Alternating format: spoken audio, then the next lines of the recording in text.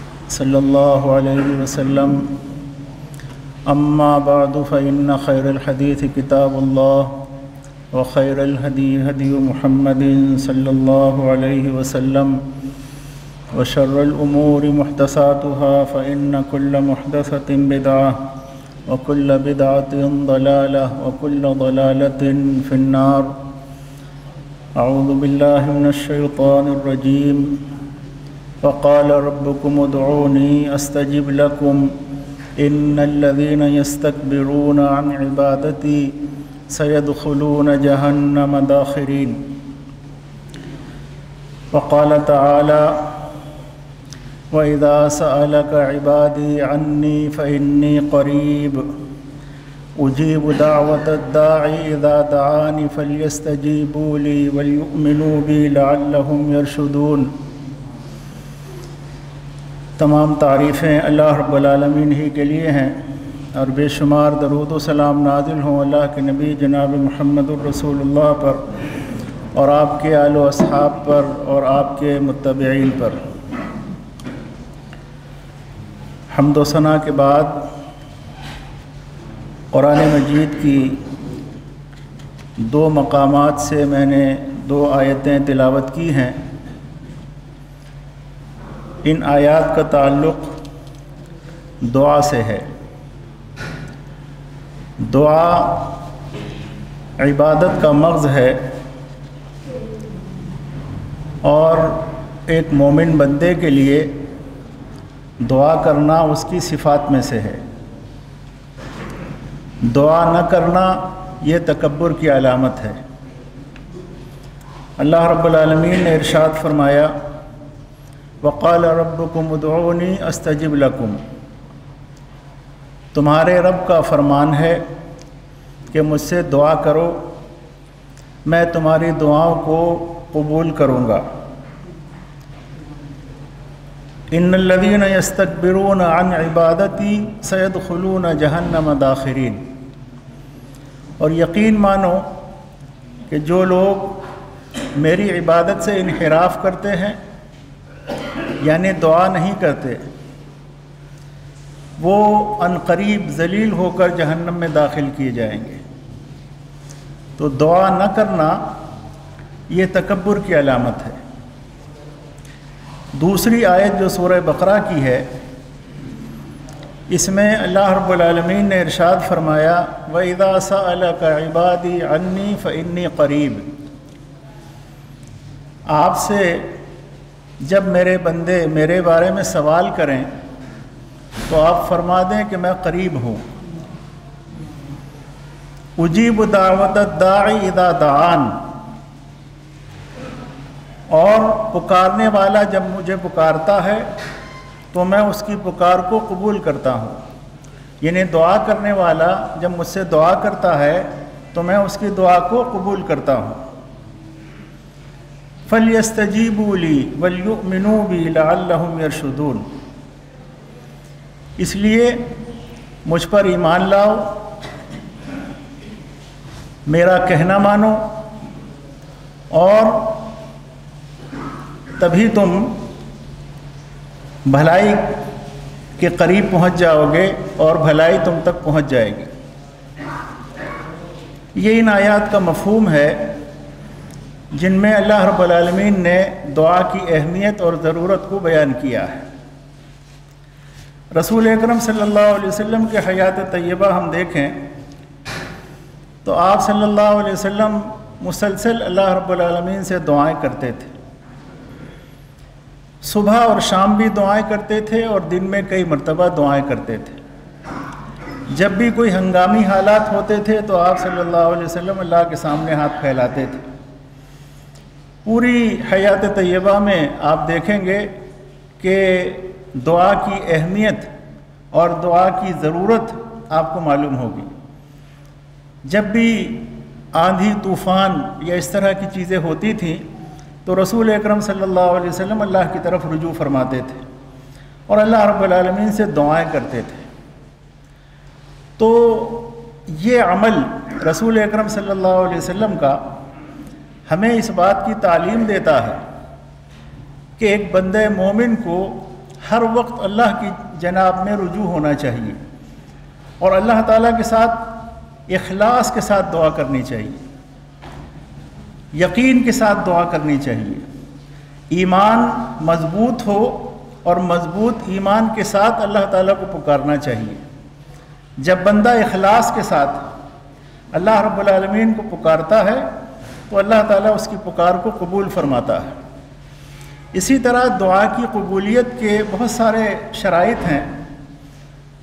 इख्तसार के साथ इस बात को सुन लें कि अकल हलाल, ये भी दुआ की कबूलियत की बुनियादी शराइ में से एक शर्त है।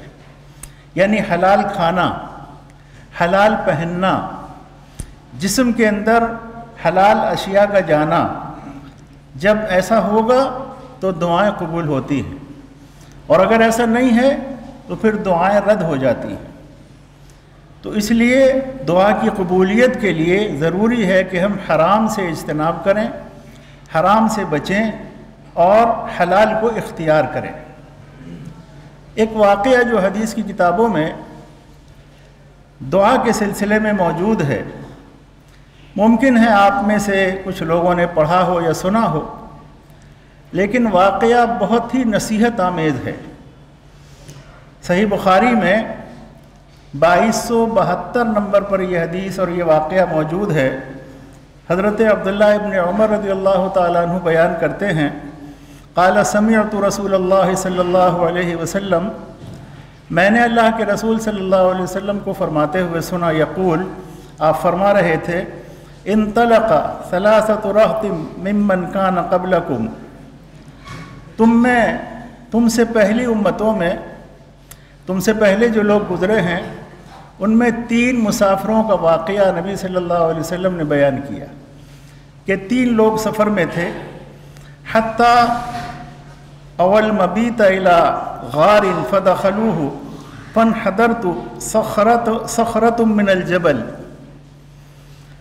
फ़सदत अलहमुलगार फ़काल इन्नहु लायुंजीकुम मिनहादि सखरत इल्ला अंतदु इल्ला अंतदुल्लाह बिसालिह आमालिकुम वो लोग एक गार में दाखिल हो गए। रात का वक्त हो गया सफ़र करते करते तो एक गार में दाखिल हो गए आराम करने के लिए। पहाड़ से एक पत्थर गिरा और वो गार के मुँह पर लग गया। यानी गार बंद हो गया। जब सुबह कोई लोग बेदार हुए तो देखा कि गार से निकलने का कोई रास्ता नहीं है। गार बंद है। तो इन लोगों ने कहा कि अब तो नजात का और यहाँ से निकलने का कोई रास्ता बाकी नहीं रहा। हम लोगों को चाहिए कि हम अपने नेक आमाल को याद करके अल्लाह रब्बुल से दुआ करें। अपने आमाल सालिहा को याद करके अल्लाह रब्बुल को याद करें। अब यही एक तरीक़ा है। इस मुश्किल से बचने का, इससे निजात हासिल करने का यही एक तरीक़ा है कि हम अपने आमाल सालहा को याद करें और अल्लाह रब्बुल को पुकारें। नबी करीम सल्लल्लाहु अलैहि वसल्लम फरमाते हैं कि फ़काल रजुलमिन हम अल्लाम इनकानली अबवानी शेखानी कबीरान।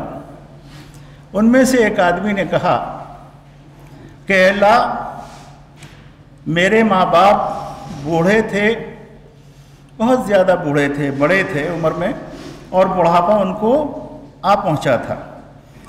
वकुन तो ला अबिक कबलहुमा अहलन वला मालन। मेरा मामूल ये था कि मैं रात को सोने से पहले उनको दूध पिलाता था, और उसके बाद अपने बच्चों को और ग़ुलामों को पिलाता था। ये मेरा मामूल था। एक दिन मुझे काम में ताखीर हो गई, देर हो गई। देर से मैं पहुँचा और अपने मामूल के मुताबिक दूध लेकर मैं वालदेन के पास पहुँचा तो सो गए थे।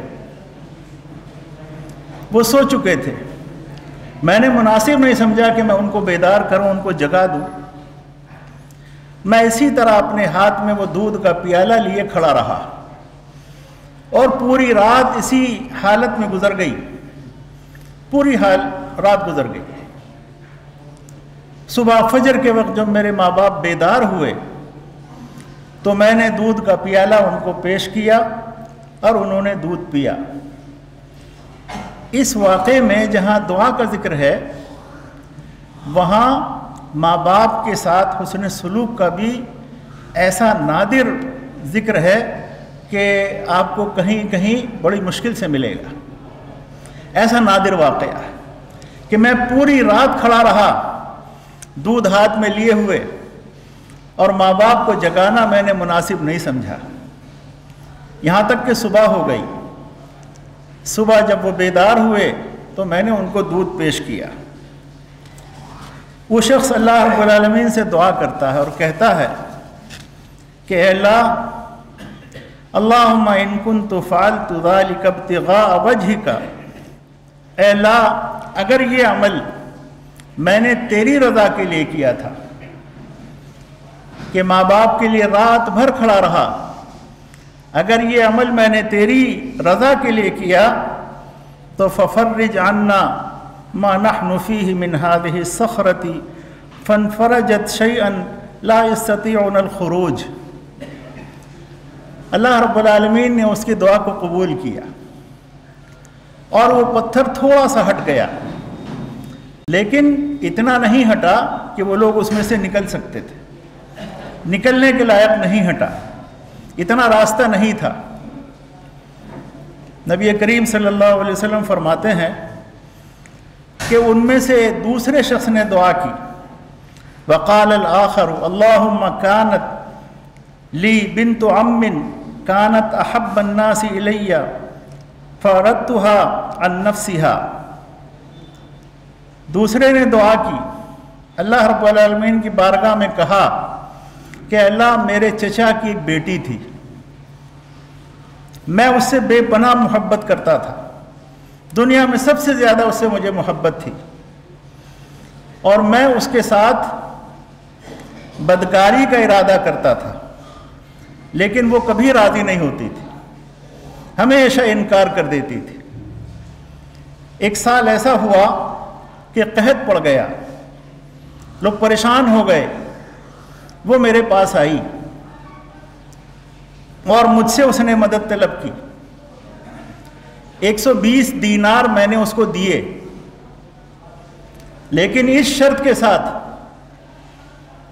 कि मेरे इरादे की तकमील करनी है। बहुत दिनों से मैं मौके के इंतज़ार में हूँ।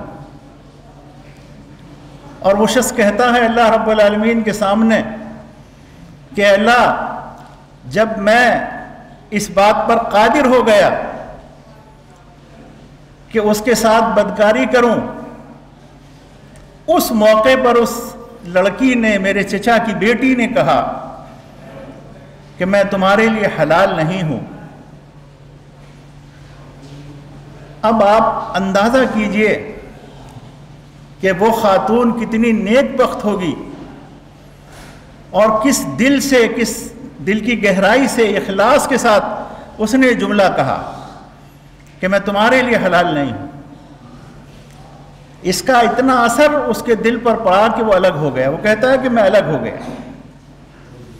और मैंने जो दीनार, जो सोना उसको दिया था, वो भी मैंने वापस नहीं लिया। अल्लाह, अगर मैंने ये काम, ये अमल तेरी रजा के लिए किया है तो हमें इस मुसीबत से निजात दे दे। गार में हम बंद हैं, रास्ता निकलने का नहीं है तो मुझे नजात अता फरमा दे। वो पत्थर थोड़ा सा और खिसका। लेकिन इतना नहीं कि वो लोग निकल सके। नबी सल्लल्लाहु अलैहि वसल्लम ने फरमाया कि तीसरे आदमी ने दुआ की तीसरे आदमी ने अल्लाह रबालमीन के सामने अल्तजा की और ये अर्ज़ किया अल्लाह, मैंने कुछ लोगों को मजदूरी पर रखा था। जब वो अपना काम मुकम्मल करके जाने लगे तो मैंने मज़दूरों को मजदूरी की उजरत दी। लेकिन उनमें से एक मजदूर उजरत लिए बगैर चला गया। मैंने उसकी उजरत को संभाल कर रखा। और उसे कारोबार में लगा दिया। कारोबार क्या था? ये बकरियाँ, ऊँट, गाय, भेड़ें, ये कारोबार था। कहा, मैंने वो रकम जो उसकी मजदूरी की मेरे पास बची हुई थी, वो मैंने उसमें लगा दी। जिसके नतीजे में उसमें नफ़ा हुआ और वो ऊँट और बकरियाँ और भेड़ें, वो बढ़ गई, इजाफा हो गया कुछ दिनों के बाद वो मजदूर मेरे पास आता है और मुझसे कहता है कि भाई, फला मौके पर मैंने आपके यहाँ काम किया था, आपके पास मेरे पैसे हैं, वो मुझे आप दे दे। मेरी मजदूरी मुझे दे दे। मैंने कहा कि ये ये ऊँट, ये गाय, ये बकरियाँ, ये भेड़, ये जितनी चीज़ें हैं, ये सब तुम्हारा है, ले जाओ। उसने कहा कि आप मुझसे मज़ाक क्यों करते हैं? मज़ाक क्यों करते हैं? उसने कहा, भाई, जो मजदूरी के पैसे तुम छोड़कर गए थे, वो मैंने इसी काम में लगा दिए हैं। और उसको मैं अल्लाह ताला ने नफ़ा दिया। ये इतना हो गया, तुम्हारा ही पैसा है ये। ये सब तुम्हारा माल है। तो वो शख्स अपना तमाम माल जो मुनाफे के साथ था वो लेकर चला गया, उसमें से उसने कुछ नहीं छोड़ा। तीसरा शख्स कहता है कि, अल्लाह, मैंने अगर ये अमल तेरी रजा के लिए किया तो हमें इस मुसीबत से नजात अता फरमा। वो पत्थर और खिसक गया। अब इतना रास्ता हो गया कि ये तीनों लोग गार से निकल सकते हैं। रसूलुल्लाह सल्लल्लाहु अलैहि वसल्लम ने यह वाक़ बयान किया। इस वाक़े के अंदर गौर करने की कई चीज़ें हैं। सबसे पहली बात तो ये है कि उन लोगों ने मुसीबत में, परेशानी में अल्लाह रब्बुल को पुकारा। अल्लाह ताला को याद किया। और यहाँ से एक मसला ये भी समझ लीजिए कि बग़ैर किसी वास्ते और वसीले के अल्लाह ताला को पुकारा।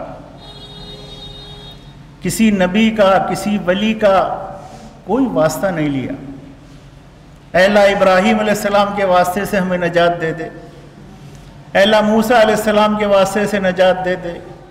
नू सलाम के वास्ते से हमें नजात दे दे, जिसे हमारे यहाँ होता है। कि नबी के सदक़े में और नबी के तुफ़ैल में और नबी के वसीले से दुआएँ करने का एक रिवाज हो गया। लेकिन इन तीन अल्लाह के बंदों ने किसी नबी और वली का ज़िक्र ही नहीं किया। कोई किसी शख्सियत की ज़ात का वसीला नहीं लिया। यहाँ से बात मालूम हो गई कि किसी की भी ज़ात का वसीला दीन में से नहीं है। दीन का इससे कोई ताल्लुक नहीं। ये लोगों ने मोहब्बत के नाम पर और गुलू करते हुए ऐसा अमल शुरू किया, जो इस्लामी शरीयत में नहीं है। दूसरी बात यह है कि इन लोगों ने अगर वसीला लिया तो अपने नेक आमाल का वसीला लिया। अल्लाह ताला की बारगाह में अपने नेक आमाल को पेश किया। जो नेक काम ये अपनी ज़िंदगी में कर चुके थे अल्लाह, तीनों ने कहा कि अगर मैंने ये काम तेरी रज़ा के लिए किया है तो रब्बुल आलमीन हमें इस मुसीबत से नजात अता फरमा। हम भी इस तरीके को अख्तियार कर सकते हैं। और ये जायज़ वसीला है कि हम कोई भी अपने नेक अमल को जो अल्लाह के लिए खालिस हमने अंजाम दिया हो, हम उसे पेश कर सकते हैं। मोहम्मद रसूलुल्लाह सल्लल्लाहु अलैहि वसल्लम की रिसालत पर हमारा ईमान है और दिल की गहराई से ईमान है। हम अपने इस अमल को भी बतौर वसीला पेश कर सकते हैं। अल्लाह, मैं तेरे नबी की रिसालत पर ईमान रखता हूँ। मेरी दुआओं को कबूल फरमा। अल्लाह, मेरी मैं तेरी किताब पर ईमान रखता हूँ। मेरे दुआओं को कबूल फरमा। अल्लाह, मैं तेरी ज़ात और तेरी तोहद में यकीन रखता हूँ, ईमान रखता हूँ, मेरी दुआ को कबूल फरमा। अल्लाह, मैं आखरत के दिन पर यकीन रखता हूँ, मेरी दुआओं को कबूल फरमा। यह हुआ आमाल साल का वसीला और ये जायज़ वसीला। है तो आमाल साल का वसीला इस हदीस से साबित होता है और किसी की शख्सियत के वसीले का रद्द होता है। तो इसलिए मेरे भाइयों अल्लाह रबालमीन की जनाब में हम अपनी तमाम मसाइब व मुश्किल में रुजू करें। उसी को पुकारें, वही सबकी पुकार को सुनता है और वही कबूल करता है। अम्बिया के वाक़ात को आप पढ़ लें। बेशुमार वाक़ात हैं। कुरान करीम में भी अम्बिया का ज़िक्र आया है। पिछली कौमों का ज़िक्र आया है। अम्बिया के पर जो मसाइब और मुश्किल आई हैं, उनका ज़िक्र आया है। हर नबी ने अपनी मुश्किल को दूर करने के लिए अल्लाह रबालमीन को पुकारा। अल्लाह रबालमीन के आगे हाथ फैलाया। हज़रत यूनुस की मरूफ दुआ जो कुरान करीम में ज़िक्र की गई है, जिसे हमारे यहाँ अवाम में आयत करीमा के नाम से लोग कहते हैं। ला इलाहा इल्ला अंत सुबहान का इन्नी कुन तुमिन ये हज़रत सलाम की दुआ है। ये कहाँ पुकारा उन्होंने? किस आलम में अल्लाह को पुकारा? जब वो मछली के पेट में थे। समंदर की तय में मछली के पेट के अंदर है। वहाँ से अल्लाह रबालमीन को निदा देते हैं, पुकारते हैं अल्लाह, ला इलाहा इल्ला अंता, सुबहानक इन्नी कुन तुमिनमीन तेरे अलावा कोई मबूद बरहक नहीं है। सुबहान का तू तमाम अयूब से पाक है। हर कमी से तेरी ज़ात पाक है। इन्नी कुन तुमिनमीन मैं ही जालिम हूँ। मैंने अपने नफ्स पर जुल्म किया। इतराफ़ कर रहे हैं और अल्लाह रब्बुल के तोहद का नारा बुलंद कर रहे हैं। कहाँ हैं? मछली के पेट में। बंदा कहीं भी हो, अल्लाह ताला को पुकारे। और अल्लाह रब्बुल अपने बंदों के तमाम अहवाल से वाकिफ़ है। जबकि बंदा बंदों के अहवाल से वाकिफ़ नहीं है। मैं, हम लोग ज़िंदा हैं, मस्जिद में मौजूद हैं, लेकिन आप मेरी अंदरूनी हालत से वाकिफ़ नहीं, मैं आपकी हालात हालात से वाकिफ़ नहीं। लेकिन अल्लाह रब्बुल हम सबके अंदरूनी हालात से वाकिफ़ है। वो हमारे दिलों के हालात को भी जानता है। दिलों में जो ख्यालात पैदा होते हैं, उनको भी जानता है। वलक़द खलक नल इंसान व नालम मात वसविस भी नफ्स व नहन अकरब मिन हबल वरीद। हमने इंसान को बनाया, उसकी तख्लीक की। हम उसके दिल में जो ख्यालात पैदा होते हैं, उनसे भी वाकिफ़ हैं। वो अलीम बिदात सदूर है, दिलों के हालात को जानने वाला मैं और आप नहीं जानते। ज़िंदगी में नहीं जानते तो मरने के बाद क्या जानेंगे? कब्र में ज़मीन के नीचे चले जाएँगे तो बाहर वालों के हालात कैसे मालूम होंगे, जब ज़मीन पर हालात मालूम नहीं? हम तो एक दूसरे को जब हालात बताते हैं तो मालूम होता है। न बताएँ तो कुछ भी नहीं मालूम। लेकिन अल्लाह रब्बुल की ज़ात वो है जो बग़ैर बताए हमारे हालात से वाकिफ़ हमारे तमाम मामला से वाकिफ़ है, इसलिए अल्लाह के बंदो, अल्लाह को पुकारो। अल्लाह से दुआएँ करो। तमाम मसाइब व मुश्किल में अल्लाह रबालमीन की तरफ़ रुजू करो। अल्लाह ताला हमारी हर पुकार को सुनता है, हमारी हर हरकत को देखता है और हमारे अकेले में, उजाले में, अंधेरे में हर अमल से वाकिफ़ है। अल्लाह रबालमीन हम सबको इस मुसीबत से नजात अता फ़रमाए, जो मुसीबत हमारे मुल्क में आई हुई है। इस वबाई बीमारी से अल्लाह ताला हम सब की हिफाजत फरमाए। अल्लाह से दुआएँ करें, खूब दुआएँ करें, अल्लाह रबालमीन को पुकारें, सदक़ा खैरात भी करें, और अल्लाह की तरफ़ रुजू हों, गुनाहों को छोड़ें, बुराइयों से इज्तनाब करें, नेकियों की तरफ़ सबकत करें।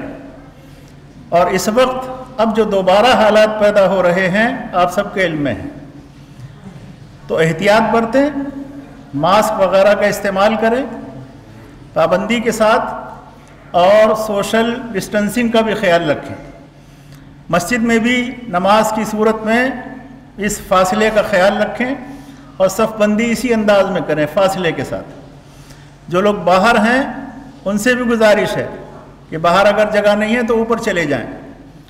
ऊपर जगह है, उसके ऊपर भी जा सकते हैं वज़ू खाने के ऊपर भी जा सकते हैं।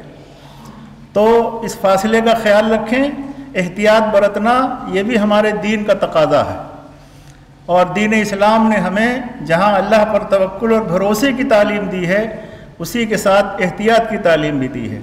अल्लाह ताला हम सब की हिफाजत फरमाए, अक़ुल कौली हादा व अस्तग़फिरुल्लाह ली व लकुम, वलिसाइरिल मुस्लिमीन, फ़स्तग़फिरूह, इन्नहु कान गफ़्फ़ार।